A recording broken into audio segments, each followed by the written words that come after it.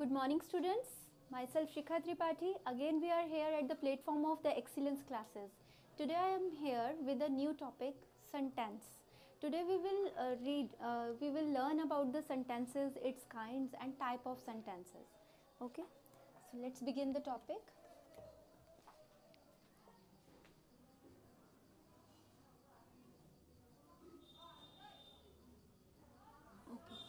So before starting the class, we must know what are sentences.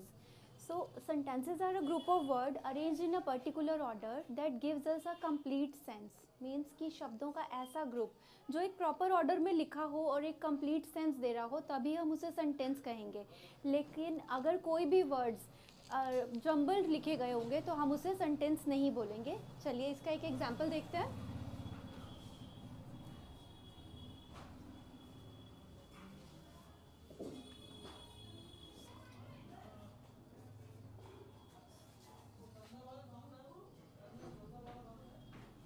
here you can see Mohan school goes to daily क्या ये एक sentence है?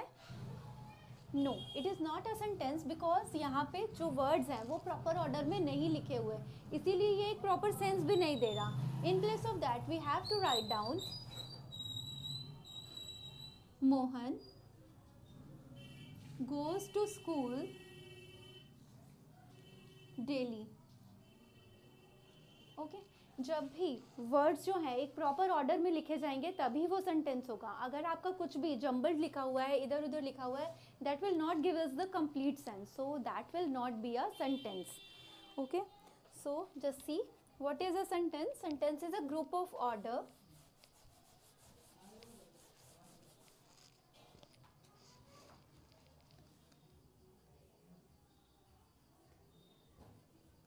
Sentence is a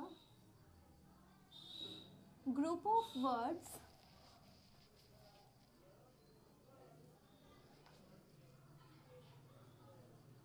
arranged in a particular order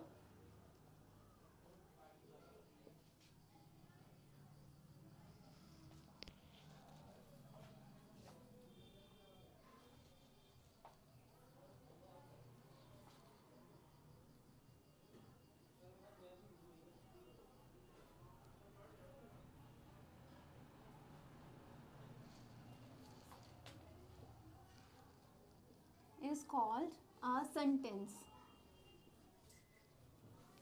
तो यहाँ आपने देखा sentence is a group of words एक ऐसा वर्ड्स का ग्रुप जो एक प्रॉपर ऑर्डर में लिखा गया होगा और वो कंप्लीट सेंस भी दे रहा होगा, तभी हम उसे सेंटेंस कहेंगे.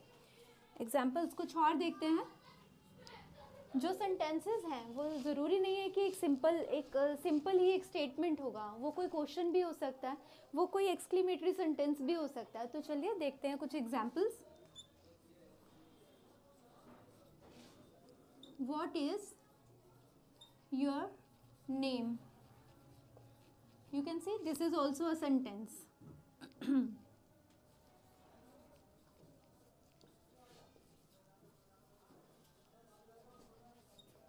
What a beautiful dress you have तो यहाँ पे ये एक एक्सक्लेमेटरी सेंटेंस है जो एक किसी की ड्रेस है जिसको देखकर हमने एकदम से रिएक्ट किया है कि वाह कितनी सुंदर ड्रेस है तुम्हारे पास। तो यहाँ पे भी ये क्या है? एक सेंटेंस है।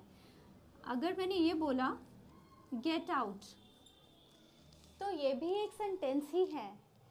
क्या आप यहाँ पे क्या एक इंटरेस्टिंग बात बताती हूँ कि आप लोग जानते हो कि इंग्लिश लैंग्वेज में सबसे छोटा सेंटेंस क्या है? दैट इज़ गो ये अपने आप में कंप्लीट सेंस देता है। तो इसलिए ये सबसे स्मॉलेस्ट सेंटेंस है। ओके okay, तो यहाँ आप देख सकते हैं कि मैंने एक इंटेरोगेटिव सेंटेंस लिखा उसके बाद एक एक्सक्लेमेटरी सेंटेंस लिखा उसके बाद मैंने एक इम्पेरेटिव सेंटेंसेस लिखे दो। तो यहाँ पे सेंटेंस का मतलब ये नहीं है कि एक सिंपल स्टेटमेंट है कुछ भी डिक्लेरेशन है किसी के भी बारे में। सेंटेंस मीन्स किसी भी तरह का एक ग्रुप वर्ड्स का ग्रुप जो हमें कंप्लीट सेंस देगा। Okay okay? चलिए अब सेंटेंस के पार्ट्स के बारे में पढ़ते हैं।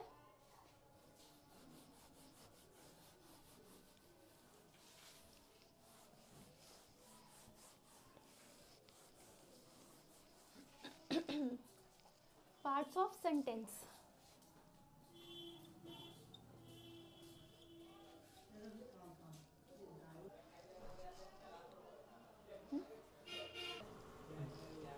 due to some technical issue there was an error the video was blurred but now it's okay let's continue मैं यहाँ पे आपको parts of sentences के बारे में बता रही हूँ तो student sentence के two parts होते हैं first one is subject and another one is predicate okay?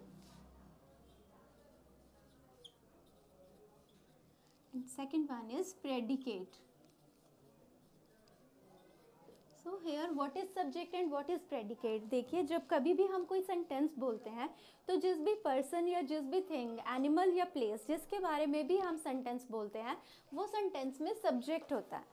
ठीक है? और जो भी बात हम उसके बारे में बोलते हैं वो प्रेडिकेट है। वो पार्ट सेंटेंस में प्रेडिकेट पार्ट है। ओके okay, एग्जाम्पल्स के थ्रू समझते हैं।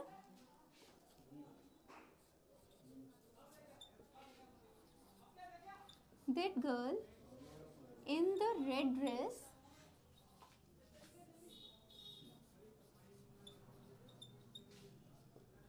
is my sister.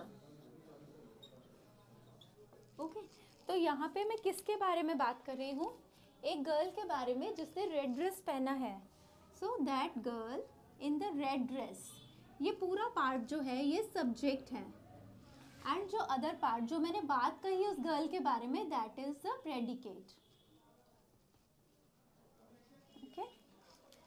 simple? After that, get out of my room यहाँ पे मैंने बोला get out of my room मैं किसी को बोल रही हूँ कि मेरे रूम से बाहर चले जाओ। तो यहाँ पे जो जो सब्जेक्ट है, वो इनविजिबल है। मीन्स कि जो भी पर्सन मेरे सामने होगा, मैंने उसी से बोला। तो यहाँ पे जो सब्जेक्ट होगा दैट विल बी यू और वो इनविजिबल है यहाँ पे। ये अंडरस्टूड है कि कोई सामने है, जिससे मैंने बोला। बट यहाँ पे सेंटेंस में यू मेंशन नहीं है। तो this part will be the predicate part और जो सब्जेक्ट है वो इसमें यू रहेगा। ओके आफ्टर दैट कुछ सेंटेंसेस देयर से भी शुरू होते हैं like there are there are two mango trees in my garden तो यहाँ पे स्टूडेंट्स आप देख सकते हैं कि हम किसके बारे में बात कर रहे हैं। तो सेंटेंस में जो सब्जेक्ट है वो देयर आर नहीं होगा। In place of that mango tree होगा। क्योंकि हमने मैंगो ट्री के बारे में बात की इस सेंटेंस में। तो there are two mango trees in my garden तो मैंगो ट्रीज जो है वो सब्जेक्ट है।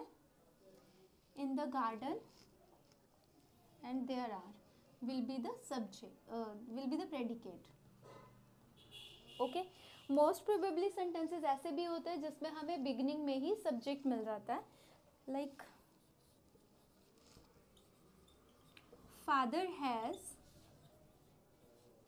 gone to his office पापा अपने ऑफ़िस चले गए हैं। तो यहाँ पे हम किसके बारे में बात कर रहे हैं? फादर के बारे में। Then again father will be the subject and has gone to his office will be the predicate part.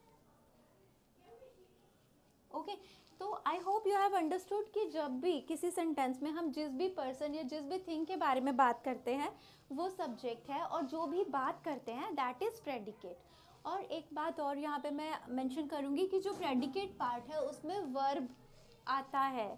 जैसे हमने फ़र्स्ट सेंटेंस में देखा प्रेडिकेट पार्ट ये है, यहाँ पे इज़ वर्ब है। अगेन यहाँ पे गेट आउट वर्ब है। अगेन यहाँ पे देयर आर वर्ब है and has gone again the verb तो वर्ब जो है वो प्रेडिकेट पार्ट का ही प्रेडिकेट uh, का ही एक पार्ट है। तो जो सब्जेक्ट है वो कोई भी नाउन या कोई भी प्रोनाउन हो सकता है। Okay I hope you have understood this okay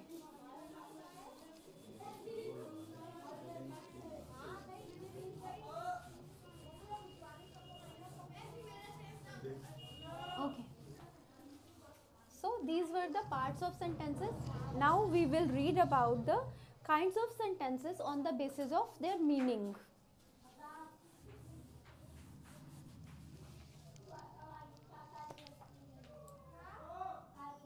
Kinds of sentences on the basis of meaning. Okay.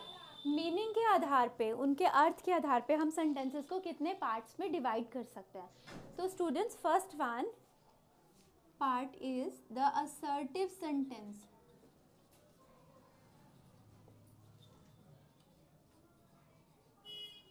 assertive sentence जो है, उसे हम स्टेटमेंट भी बोलते हैं। Okay okay? उसे हम डिक्लेरेटिव सेंटेंस भी बोलते हैं। ये सभी असर्टिव सेंटेंसेस स्टेटमेंट्स से डिक्लेरेटिव सेंटेंसेस एक ही चीज़ है जिसको हम अलग अलग नाम से बुलाते हैं। जैसे कि कई लोगों के नाम होते हैं तो किसी का नाम जो बाहर लिया जाता है, वो अलग नाम होता है, घर में लिया जाता है, वो अलग नेम होता है। इसी तरह से यहाँ पे भी एक ही काइंड है, जिसकी ये थ्री नेम है। ठीक है, इसके बाद एक और चीज़, जो असर्टिव सेंटेंसेज हैं, वो अफर्मेटिव भी हो सकते हैं एंड बी नेगेटिव भी हो सकते हैं। तो नेगेटिव क्या होते हैं? नेगेटिव मीन्स ऐसे सेंटेंसेस जिसमें हम नॉट का यूज़ कर रहे हैं। नेगेटिव में बोल रहे हैं, लेकिन कुछ ऐसे सेंटेंसेस जिन्हें हम येस yes में बोलते हैं पॉजिटिव में बोलते हैं। They are the affirmative sentences अब इसकी कुछ एग्जांपल्स देखते हैं। Hina does her work on time ठीक है? हिना अपना काम टाइम पे करती है। तो अगेन हिना सब्जेक्ट है यहाँ पे और क्या करती है वो उसका काम जो है वो प्रेडिकेट है। तो ये हमने कहाँ पे आइडेंटिफाई किया? एक अफर्मेटिव सेंटेंस में। Okay after that another example she has made और prepared all her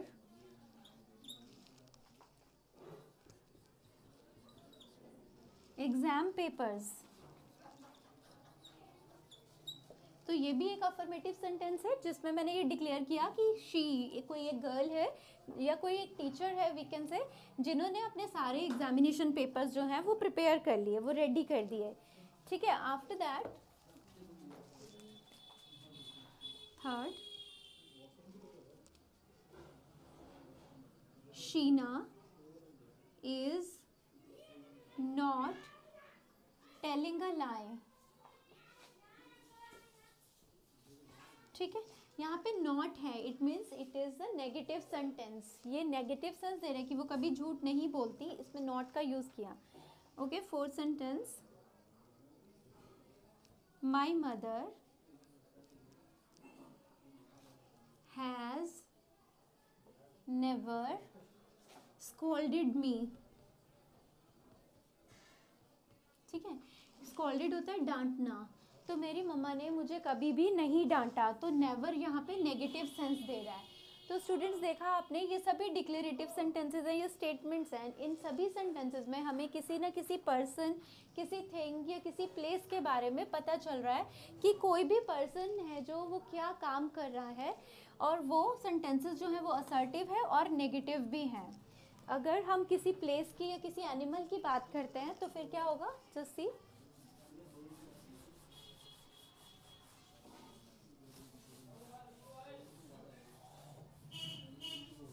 अगर मैं एग्ज़ाम्पल लिखूं,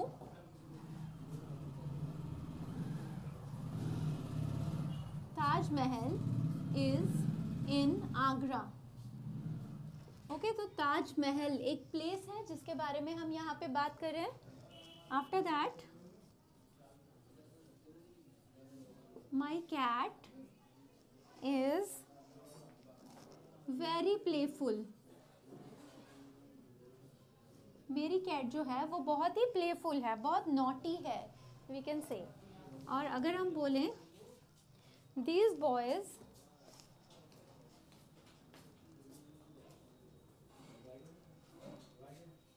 those boys are fighting with each other.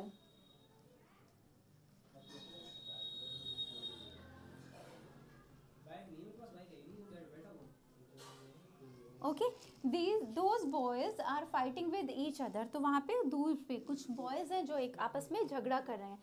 तो यहाँ पे भी आपने देखा कि एक पर्सन के बारे में, एक एनिमल के बारे में या एक प्लेस के बारे में हम किसी भी डिक्लेरेटिव सेंटेंस में डिक्लेयर कर सकते हैं, जो कि स्टेटमेंट होगी और स्टेटमेंट अफर्मेटिव और नेगेटिव दोनों तरह की हो सकती है।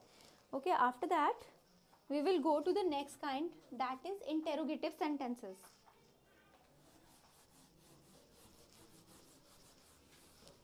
so what are interrogative sentences interrogative से ही हमें पता चलता है कि जो इंटेरोगेटिव सेंटेंसेस होते हैं, वो क्वेश्चंस होते हैं। हमेशा जब भी हमें क्वेश्चन कोई भी पूछना है, वो क्वेश्चन जो है, वो इंटेरोगेटिव सेंटेंसेस ही होते हैं।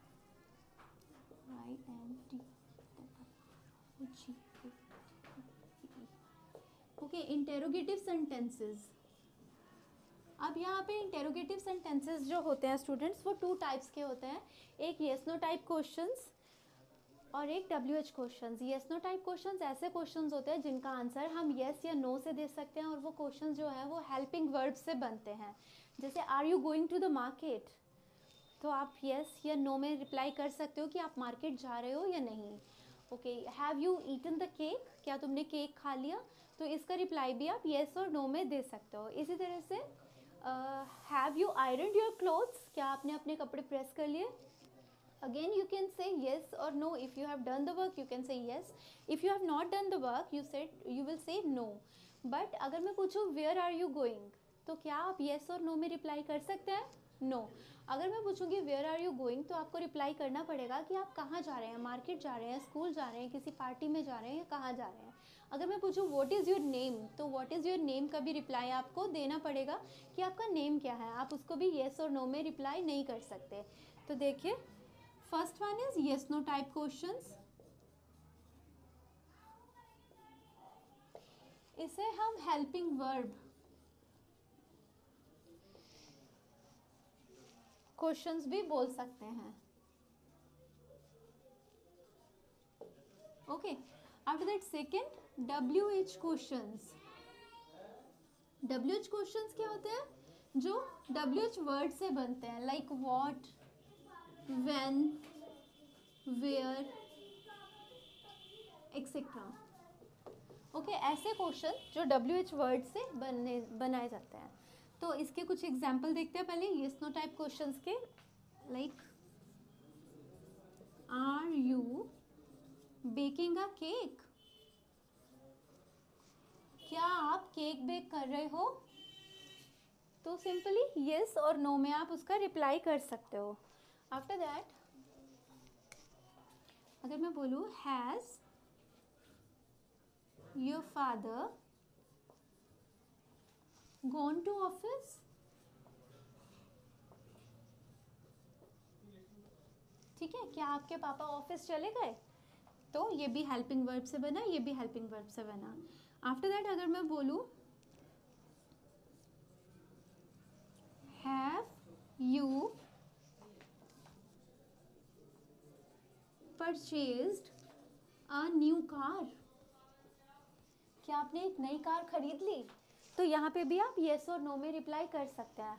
आफ्टर दैट अगर हम डब्ल्यू एच क्वेश्चन की बात करें तो डब्ल्यू एच क्वेश्चन क्या होता है? Like when will you come back from the office okay आप ऑफ़िस से कब वापस आ रहे हो? और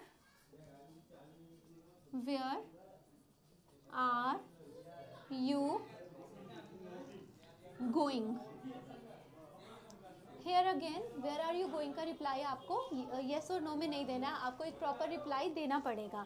तो देखा आपने किस तरह से येस नो टाइप क्वेश्चंस और डब्ल्यू एच क्वेश्चन को हम लिख सकते हैं, उनका फॉर्मेशन कर सकते हैं। तो ऐसे क्वेश्चन जो हम हेल्पिंग वर्ड से बनाते हैं या डब्ल्यू एच वर्ड से बनाते हैं, वो सभी क्वेश्चन जो है इंटेरोगेटिव सेंटेंसेस का ही पार्ट है। तो यहाँ पे इंटेरोगेटिव सेंटेंसेस में एक और चीज़ है दैट इज़ क्वेश्चन टैग जिसके बारे में मैं अभी आपको बताऊँगी। I hope you have understood this okay now just see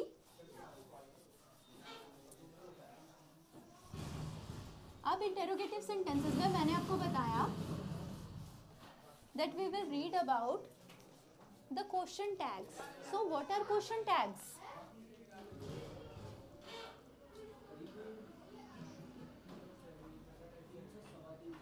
Question tags क्या होते हैं? जब हम एक सिंपल स्टेटमेंट बोलते हैं, कोई भी डिक्लेरेटिव सेंटेंस बोलते हैं, लेकिन उसके बाद में उसी से रिलेटेड कोई क्वेश्चन पुटअप कर लेते हैं। बहुत बार ऐसा होता है, जैसे हम अपनी मम्मा से पूछ रहे हैं कि, मम्मा, आप बाज़ार जा रही हो ना? कि नहीं? है ना? सिंपली जैसे मैंने एक सिंपल स्टेटमेंट बोला कि आप बाज़ार जा रही हो और उसके बाद मैंने पूछा कि कि नहीं जा रही हो? तो इसी तरह के सेंटेंसेस जो हैं, उनके लास्ट में हम क्वेश्चन टैग लगाते हैं क्वेश्चन पुटअप करने के लिए। Mom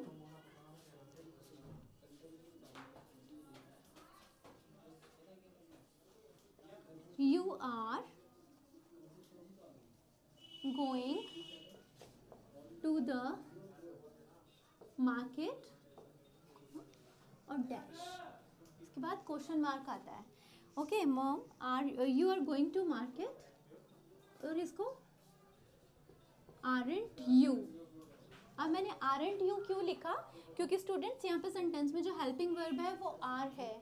बट आर एंट क्यों लिखा? तो आर एंट इसलिए लिखा कि जब भी स्टेटमेंट पॉजिटिव होगी तो हम नेगेटिव क्वेश्चन टैग लगाएँगे. और जब भी स्टेटमेंट नेगेटिव होगी, हम पॉजिटिव क्वेश्चन टैग लगाएँगे. जैसे मैंने बोला Siya is going to Delhi Siya Delhi जा रही है. इजेंट शी क्या वो नहीं जा रही? ठीक है, ये क्वेश्चन टैग है. अगर मैं लिखती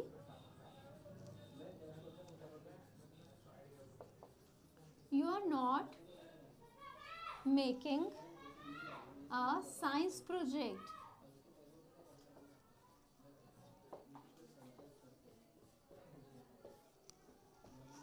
you are not making a science project तो यहाँ पे आर है बट यहाँ पे नॉट भी है. तो हम आर यू क्वेश्चन टैग लगाएँगे क्या? आर यू तो देखा आपने कैसे ये नेगेटिव सेंटेंस था तो मैंने पॉजिटिव क्वेश्चन टैग लगाया, लेकिन पॉजिटिव सेंटेंस में नेगेटिव क्वेश्चन टैग लगाया। इसी तरह से अगर आई से कोई सेंटेंस शुरू होगा तो क्या करेंगे? I am baking a delicious cake ठीक है? मैं एक डिलीशियस केक बेक कर रही हूँ। I am baking a delicious cake आप बताओ क्या होगा? यहाँ पे हेल्पिंग वर्ब तो एम है। तो एम एंड आई नहीं होगा, क्योंकि एम के साथ नॉट नहीं आता। एम के साथ अगर नॉट आता तो वो कॉन्ट्रैक्टेड फॉर्म में नहीं आता। तो यहाँ पे इसका क्वेश्चन टैग बनाने के लिए हम लोग करेंगे आर एंट आई ओके इस तरह से हम किसी भी सेंटेंस के, किसी भी सिंपल सेंटेंस के बाद में एक छोटा सा क्वेश्चन पुटअप करके उसे क्वेश्चन टैग की तरह यूज़ कर सकते हैं। Okay I hope you have understood just have a screenshot of this After that we will go to the next kind. Next and third kind is the imperative sentences.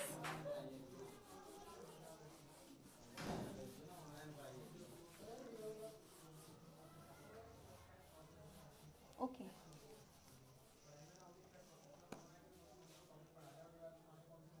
Third is I am imperative sentence. So what are imperative sentences imperative sentences वो sentences होते हैं जिनमें हम किसी को भी command order request करते हैं। ठीक है? Any command order request advice suggestion भी हो सकता है। इसमें हम किसी को कुछ सजेस्ट भी करते हैं। तो ये सारे सेंटेंसेस जिनमें हम किसी को भी ऑर्डर कर रहे हैं कमांड कर रहे हैं रिक्वेस्ट कर रहे हैं, वो सभी क्या है? इम्पेरेटिव सेंटेंसेस लाइक अगर मैंने बोला गेट आउट फ्रॉम हेयर ठीक है? यहाँ से चले जाओ। तो दिस इज़ एन ऑर्डर और command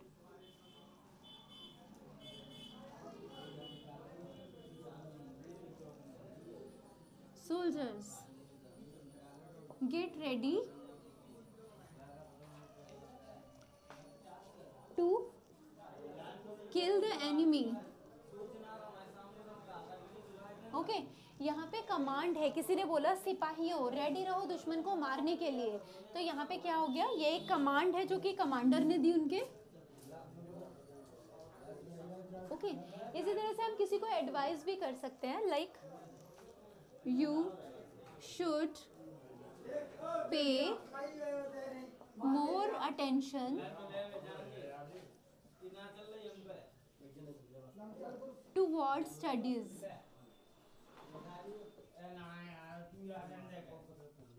okay okay. यहाँ पे क्या है? You should pay more attention toward studies तुम्हें अपनी पढ़ाई पे और ध्यान देना चाहिए। तो ये क्या है? एक सजेशन है। हम किसी को सजेस्ट कर रहे हैं कि वो अपनी पढ़ाई के लिए थोड़ा और ध्यान दें। तो स्टूडेंट्स देखिए, आप लोगों ने यहाँ पे देखा कि इम्पेरेटिव सेंटेंसेस में मैंने आपको बताया कि ऑर्डर कमांड या सजेशन हो सकता है। You should pay more attention toward studies it is an it is a suggestion कि आपको पढ़ाई पे थोड़ा और ध्यान देना चाहिए।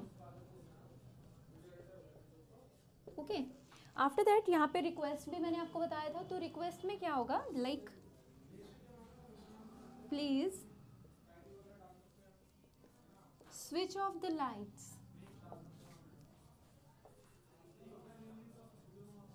ठीक है प्लीज़ बोल दिया। तो मीन्स कि रिक्वेस्ट किया। इसी तरह से काइंडली से भी रिक्वेस्ट कर सकते हैं। काइंडली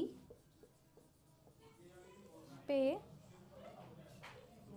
योर ऑल debts ठीक है? जो कुछ भी कर्जे हैं आपके ऊपर प्लीज़ उन्हें पे कीजिए। तो आपने देखा कि किस तरह से कमांड ऑर्डर रिक्वेस्ट या सजेशंस uh, के लिए हम इम्पेरेटिव सेंटेंसेस का यूज़ करते हैं। After that last kind that is the exclamatory sentences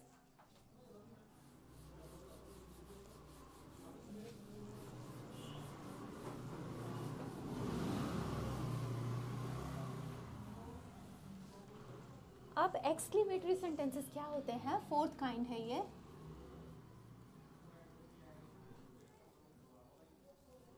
exclamatory sentences exclamatory sentences में आप अपनी फीलिंग्स को एक्सप्रेस करते हो। Feelings like happiness sadness joy, sorrow,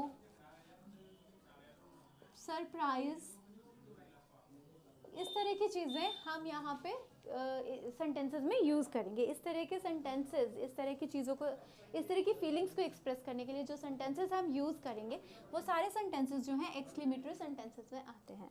like like, अगर मैंने बोला alas my dog has died ठीक है? अलास दुख शो कर रहा है। अगर मैंने बोला hurray I have won the match तो यहाँ पे मैं बहुत खुश हूँ। मैंने खुश होकर एक चीज़ एक्सप्रेस किया, एक फीलिंग एक्सप्रेस किया कि, हुर्रे, मैं मैच जीत गई। Okay after that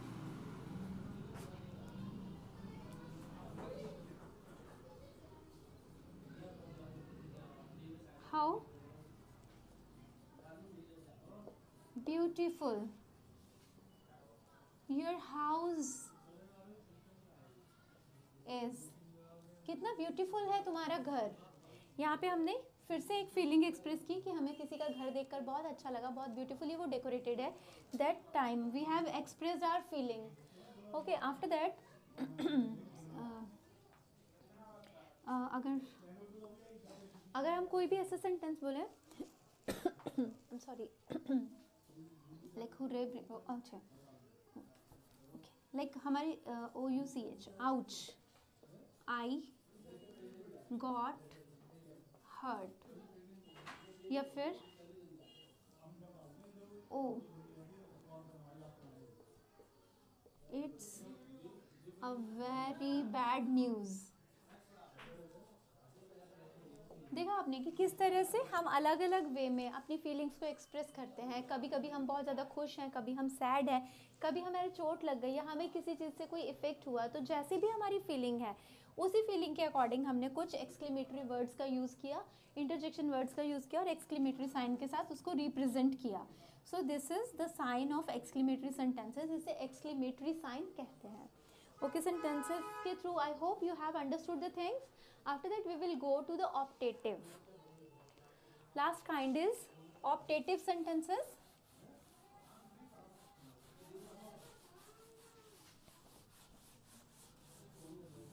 Okay. Fifth point is optative sentences.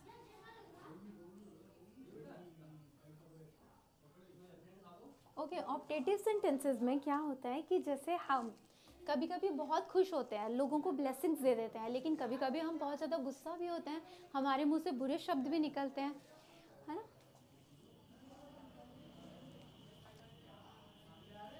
Like, may god bless you ठीक है मे गॉड ब्लेस यू तो भगवान तुम्हें आशीर्वाद दें, तुम्हारे ऊपर अपना आशीर्वाद बनाए रखें। May you go to help भगवान करे तुम नर्क में जाओ। तो इस तरह के सेंटेंसेस जैसे कि कभी हम किसी को बहुत अच्छा बोलते हैं या बहुत बुरा बोलते हैं तो ऐसे सेंटेंसेस को एक्सप्रेस करने के लिए हम ऑप्टेटिव सेंटेंसेस लिखते हैं। ओके स्टूडेंट्स तो here again I will tell you that I have today we have read about the kinds of sentences on the basis of their meaning तो यहाँ पे फिर से मैं आपको बताऊँ कि मैंने आपको फाइव टाइप ऑफ़ सेंटेंसेस बताया। First one assertive that is the simple sentences जो पॉजिटिव और नेगेटिव दोनों तरह के हो सकता है। सेकेंड टाइप मैंने आपको बताया इंटेरोगेटिव सेंटेंसेस इंटेरोगेटिव में मैंने आपको टू टाइप ऑफ़ सेंटेंसेस बताया, जिसमें यस नो टाइप क्वेश्चंस और डब्ल्यू एच क्वेश्चन थे। उसके अलावा मैंने आपको यहाँ पे क्वेश्चन टैग्स के बारे में भी बताया। थर्ड पॉइंट जो हमने देखा that was imperative imperative sentences imperative sentences में हमने सारे कमांड्स ऑर्डर्स रिक्वेस्ट इन सब के बारे में बात किया। Four type exclamatory sentences exclamatory sentences में हमने अपनी फीलिंग्स को एक्सप्रेस किया। कभी हम हैप्पीनेस शो कर रहे हैं, कभी हम सैडनेस शो कर रहे हैं। तो जिन भी वर्ड्स के थ्रू या जिस तरह से भी हम अपने वर्ड्स को या अपनी फीलिंग्स को एक्सप्रेस कर रहे हैं, वो सारे एक्सक्लेमेटरी सेंटेंसेज होते हैं। And fifth one was optative optative sentences वो सेंटेंसेस होते हैं. Again I will tell you that जहाँ पे हम किसी को भी ब्लेसिंग्स देते हैं या कर्ज देते हैं, ऐसे सारे सेंटेंसेस ऑप्टेटिव काइंड में आते हैं. अब असर्टिव सेंटेंसेस जो हैं, उसके लास्ट में हमेशा हम फुल स्टॉप का यूज़ करते हैं. इंटेरोगेटिव सेंटेंस चाहे कैसा भी क्वेश्चन होगा तो लास्ट में उसके क्वेश्चन मार्क ही ऐड करेंगे. After that imperative sentences imperative sentences के लास्ट में फुल स्टॉप का ही यूज़ होता है. और एक्सक्लेमेटरी सेंटेंसेस के लास्ट में हम एक्सक्लेमेटरी साइन यूज़ करते हैं और ऑप्टेटिव सेंटेंस के लास्ट में हम फुल स्टॉप या फिर एक्सक्लेमेटरी साइन का भी यूज़ कर सकते हैं। So I hope student today the video will be the useful video for you I hope you have understood a lot of things from here thank you very much for watching the video